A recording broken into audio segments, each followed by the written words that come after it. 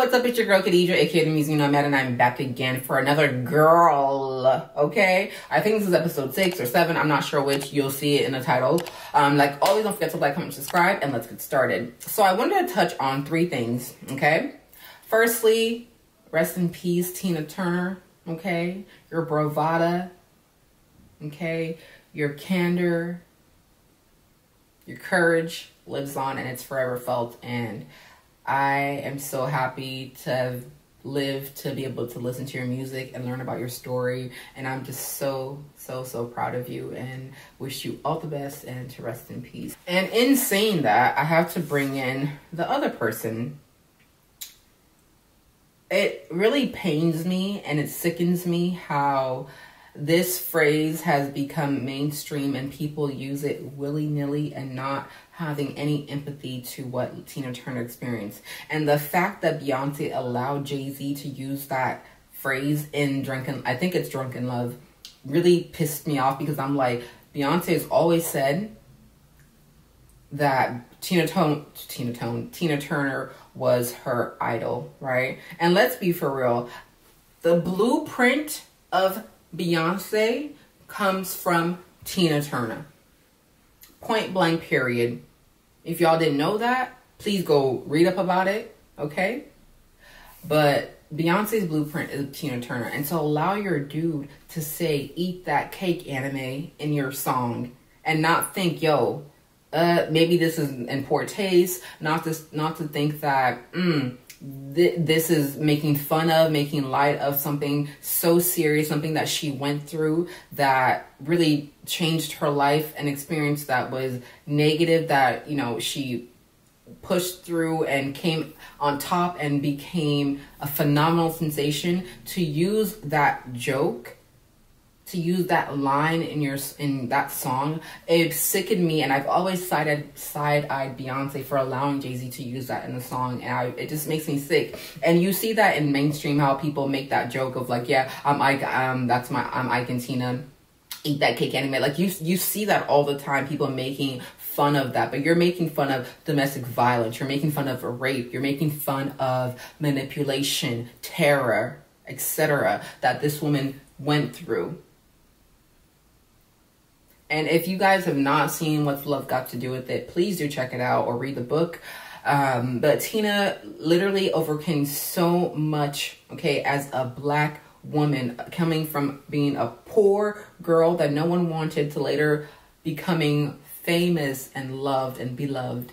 So her story is just beautiful, and I'm happy that the latter part of her life, apart from the cancer, um, for the most part, from what we know or don't know, has been more more so happiness rather than the formative years and the things that she experienced. And I will say, yo, ever since watching What's Love Got to Do with It, yo, Laurence Fishburne, I've not liked. The only way he like moved up a little bit on my list was in um, The Matrix, but I did not like Laurence Fishburne ever since watching that movie because it just tri- he triggered me and I, I just couldn't, I couldn't. But again, um, Tina Turner was the first, a trailblazer in so many respects, okay? First woman in rock and, rock and roll, um, she was inducted into rock and roll, uh, Rolling Stones. I think she was the first woman, period, okay? She has had so many firsts and it's just remarkable to see how many lives she's touched, how many women are influenced by her, okay? By her bravado when you see her on stage, okay? When you see her moving and dancing, okay? And also to think about, to think about how, especially nowadays, when you think about people being in the industry of music and even in acting, etc., people prefer to have women, especially when it's women, they need to be young. But Tina Turner, from when she was with Ike, Ike and Tina, and even when she was with Ike in the group, he was jealous of her. And that was part of the reason he was so brutal towards her. He was jealous because people came really to see her. She's a performer and that's part of the reason he resented her and wanted her to suffer. Okay? But with through it all, she went through all of that. She came out of that saying, you know what, you can keep everything. You think you want to control me? You want to kill me, Ike? do it. But I'm gonna walk on that stage, okay? But anyways, even going through all of that, she kept her name. And in her 40s, she built a name for herself again by herself on her own terms. And this woman still was still performing in her later years. Do you know how remarkable that is? I hope Beyonce will have that same experience when she gets older that you're in your 60s, 70s performing.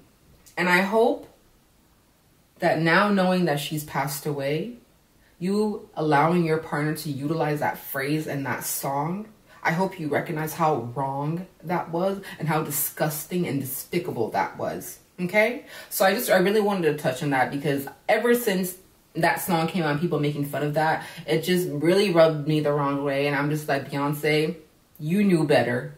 And especially for this being your idol, this being your mentor, you knew better and you should have done better by her and not allowed your man to use that phrase in your song. But now moving on to Gabrielle Union and 50-50. Let me just say, yo, in my previous um, GRRL, I talked about Evelyn, Evelyn. I talked about Ebony K. Williams and what she wants in her partner, right?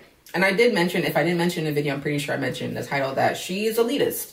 Ebony is elitist. She is. And in saying that, I was I forgot to mention this book in the um, in that video. But this was a book that, ooh, there we go. You guys see it? So this was a book. It's called Negroland by Margaret Jefferson. This was gifted to me um, for my birthday by my brother a few years ago. I started reading it finally. I'm here. And this literally talks about elitism in black culture, right? In the US specifically. So I would I think this is a good read. You guys should check it out. But in talking about this, right? So we I already spoke on Ebony ha- wanting to she has expectations and standards in her partner and she has the right to have those expectations. It doesn't take away from the fact that she is elitist and some of us are. I could say in some ways I am elitist, right? There's certain jobs that I won't do because I'm like, I did not go to school for as long as I went to school. I did not do the things I've done in my life to be doing certain jobs. And it's not that I'm looking down on people that do those jobs, but for me, myself, I wouldn't do it personally. And I hope one day I won't have to eat my words. But hey, that could happen. And if it happens, I'm going to do what I got to do to survive. But in saying that, right, when it comes to Gabrielle Union and this 50 50 idea, me personally, when you're in a partnership, y'all can look at it as being in a roommate situation if you want to look at it that. But if you're talking about like the institution of marriage, right? Marriage is a business contract. Okay, this is a business that you're going into with a partner. So you're going to have a business partner, right? Where you guys are making decisions together to make sure your business is going to be fulfilling. It's going to, there's going to be peaks and valleys right in your business but ultimately because you're working together to sustain it you're going to achieve the things that you plan on achieving okay? If you don't want to consider if you want to believe that marriage is something about true love etc that is something that's very recent. The idea of marriage institution of marriage was about ownership and property about literally giving women away to gain things or to um, solidify unions. That's all it's always been. It's not until recent, and I would say in the last six, mm, 60, less than 100 years, less than 100 years for certain, is now where it's been changed to be something about love and true love. It's never been that, okay? Even the idea of like the, the rings about like, oh, proposing. Those are things that were pushed by marketers to get people to buy into this fictitious belief of marriage being about true love. It's always been a business situation, right? So for me personally, I don't believe in the institution of marriage, considering the history behind it and utilizing women as property. Okay? Me personally, I don't believe in that. It's something I will never do. However, for those that do believe in hypergamy, which is marrying basically rich so you can have a life of uh, you know, leisure, luxury, etc. if you believe in that, like there are these black femininity um, pages that talk about that. If that's what you believe and that's what you want, I wish you well and I hope you find the partner that, you know, is out there for you that's going to give you that, right? But let's also be for real that when we look at black history in the US, black women because of the history of slavery, segregation, Jim Crow, all of that in the US, black women have never had the opportunity to have marriages where they're being taken care of. And they, they've always worked. Black men as well. It's not saying that they haven't, but for the most part, unless you're talking about elitist groups of people who have that, right? Most black people did not have that where you could work or you could just be leisure at home, be a stay-at-home um, wife, and your man's doing all of that. Some did, but that was not the majority, right? Because of the history of slavery, etc., right? So this idea of people nowadays striving to have a marriage where you're taken care of by a man, for me, makes no sense it makes no sense because if we look at the period when this was popularized or when this was normalized, you were in a period where women didn't have rights. You didn't have rights. You had to have a man permission to open an account. It wasn't until what the 70s, 60s, 70s where women finally started getting rights as far as like opening um, bank accounts, as far as being able to say that your partner raped you if they did rape you, being able to fight it, you know, fight against your partner and like divorce and settlements, etc., etc. It's not until very recent that women have had certain rights. But prior to this period that so many people want to go back to, of like, let me have a partner that's going to take care of me and I'll, I'll be good, etc. It makes no sense. Why would you want to go to a period where women didn't have any rights? Why would you want that? Why is that an ideal? Because for me, if you are looking for a situation like that, right, then that means if you're looking for this and traditional. You want tradition, okay? So that means your man is controlling the money. And if we're talking about like a heteronormative situation, right? Your man is controlling the money. He's making the decisions. And you're just gonna be here doing what you gotta do because you have no voice, you have no choice in the way things are going to be run because that's what it is. So this ideal of like wanting that, but no, you really don't want that. You want the man to provide so you can use his money to do whatever you want to do but at the same time you still want to have your rights to be able to do what you want to do you know maybe make money if you want to make money or not um, travel do whatever you want without having to ask for money from your partner but if we're looking at what these traditional relationships were that's what the situation was. So if Gabrielle Union is saying in her partnership, she has a 50-50 split. Let's be clear she is wealthy. Her man is wealthy. Okay. He's a, lot richer than she is. That's true. But if we're talking about fairness in their in their relationship, right? This is something that they've chosen to do. If they're both coming from a space of, let's say he makes a hundred million a year and she has twenty five million, they're still rich, right? So if they were to buy a home, if they're to like bring in the expenses that they have normally, that money is not going to be that much of a difference to them because of the amount of money that they make already, right? Now, if this was normal people, let's say your partner is making 100,000 a year and you're making 25,000 a year, that is going to make a huge imbalance because it's not going to be fair. But this is where for me personally equity comes into this into the equation. Equity is saying that because I'm making significantly lower and you're making significantly higher, what is equitable is that the ratio of what you're paying and the ratio of what I'm paying, it's going to be relative to what we're making, right? So I'm, if the house cost um, 100K, let's just say, right?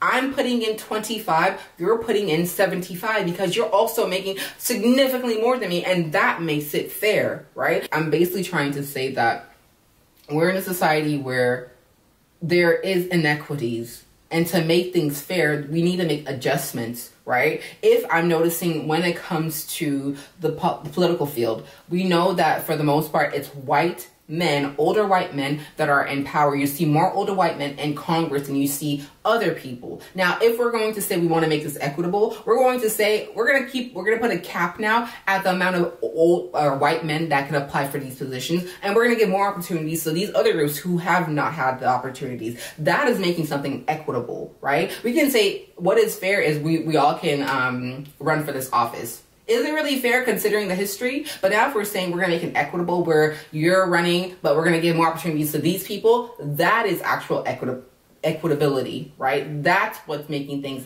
fair. So in Gabrielle's situation, maybe they don't agree with having equity as far as like when it comes to finances, right? But for them, it's fairness because they both earn a lot of money. So it works for them. So for the women that have been coming at her, like, oh my God, bitch, he cheated on you and you're, you're, um, an, uh, a salad eater or grocery eater, whatever the phrase is, and all these, these things coming at her, basically looking down on her for deciding what works best for her situation Bitch, that works for her and her partner, and he's okay with it. And just like she said, trust, okay? If I wanted that, he would. However, I don't want that because that's not my ministry. I'm not about here having my man taking care of everything because that doesn't work for me. I want to make sure that when we're in our relationship, we have equality, okay? I'm not looking at you as, um, someone I just am going to take from. And you're not looking at me in that way either. That's why we have a partnership. It's not something where me as a grown ass woman is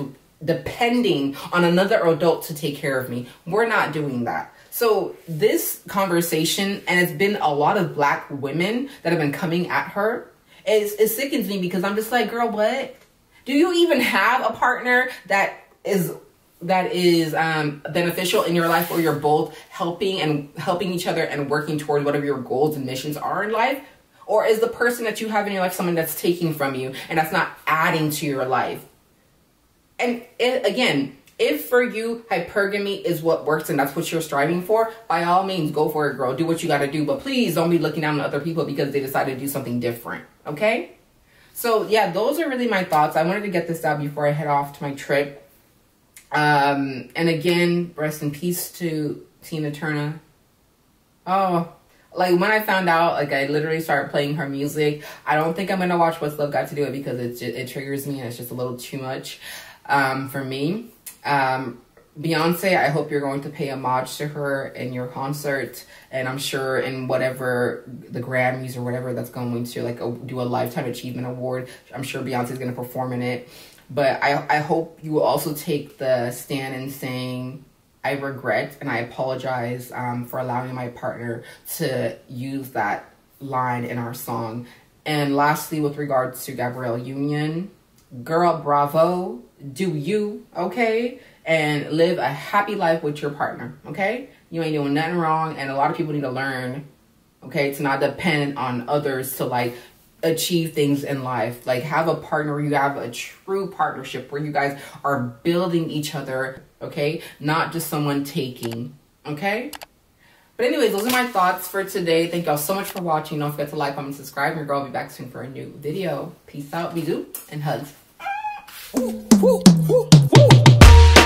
pull up, up, pull up, pull up, pull up, pull up, pull up.